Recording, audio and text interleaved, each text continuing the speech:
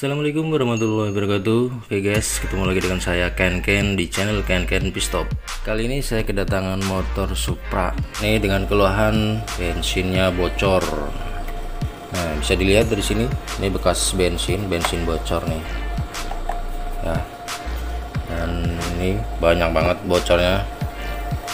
Ini bekas bensin tuh. Ya ini dilihat dari sebelah kiri. Coba kita lihat dari sebelah kanan Nah, di sebelah kanan ternyata banyak juga nih bekas-bekas bensin sampai ke sini-sini. Dan ternyata ini sudah pernah dilem. Ini lemnya lotok. Ini kalau dilihat nih lem besi ya yang hitam putih itu yang dicampur. Ini jadinya seperti ini. Dan kali ini saya akan berbagi tips cara menambal tangki yang bocor dengan alat yang sederhana murah dan bisa dilakukan di rumah. Oke. Dan trik ini tips ini berlaku untuk semua tangki. Nggak nggak hanya tangki Supra jadi bisa untuk tangki-tangki sport. Sport biasanya tuh yang sering banget loh di motor sport sering terjadi kebocoran di tangki cuma di sini saya praktekin di Supra. Alatnya cukup sederhana. Jadi simak terus videonya dan jangan lupa klik subscribe agar tidak ketinggalan video-video dari saya.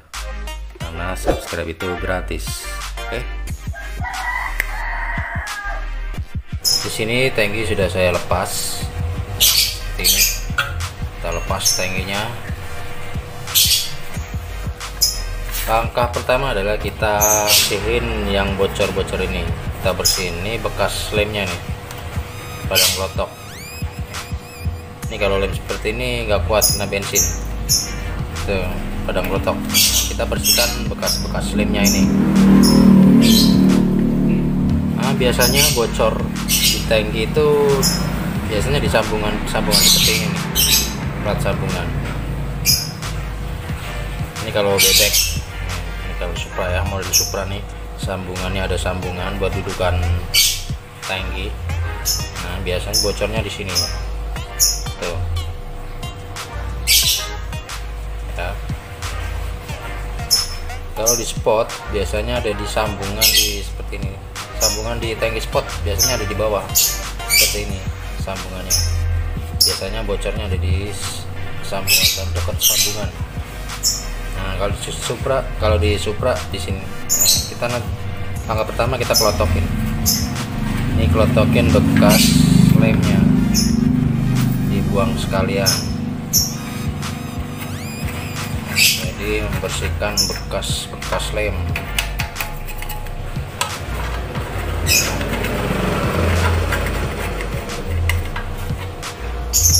Kalau yang belum pernah dilem belum pernah kena lem. Kalian bisa langsung bersihkan di lap seperti ini bekas bensinnya biar kering dan bisa langsung dilem. Cuman di sini ini udah bekas lemnya jadi harus kita bersihkan dulu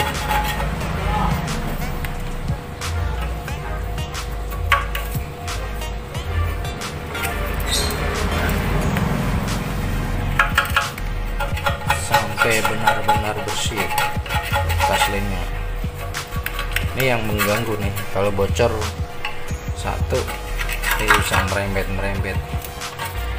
Karena ketutup lem ya ketahuan bocornya. Setelah kita kupas dan sikat dengan sikat kawat sikat kawat yang halus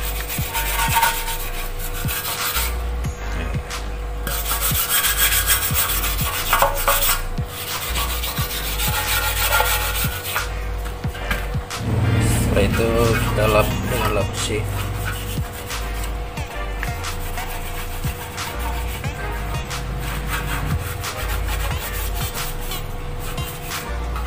selanjutnya proses pengeleman kita siapkan dulu bahan-bahannya oke? Okay?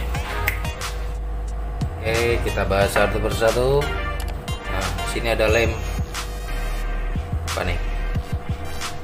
Biasa orang nyebutnya lem Korea dua ada bedak bayi. Bedak bayi. Ini sengaja saya beli yang besar. Karena biasa saya buat ngelem-ngelem tangki. Nih ini tinggal sisa segini. Dan selanjutnya ada kuas. Dan ada kertas. Nih nanti ntar buat nampung secukupnya. Ya.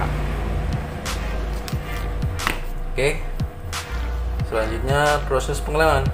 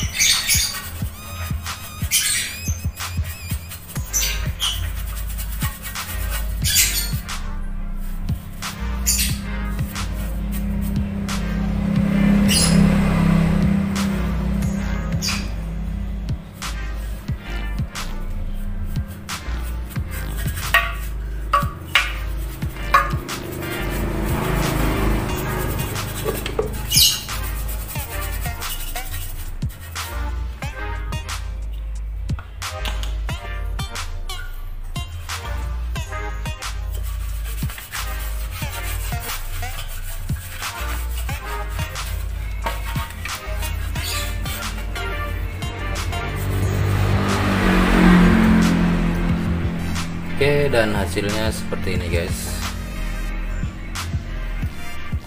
Ya.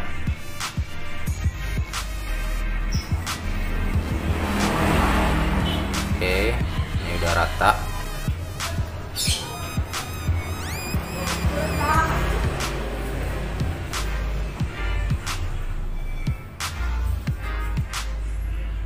Jadi ini sudah bisa dipasang. Ini langsung kering dia bisa langsung pasang. Jadi buat kalian yang ingin rapih lagi ini bisa disemprot pakai cat semprot ya warna hitam. Atau seperti ini juga nggak apa-apa karena ini di dalam nggak kelihatan bisa langsung pasang.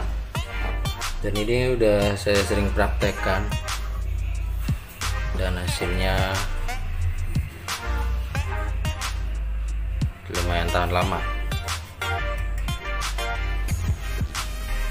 penting rata ngelemnya rata oke okay. thank you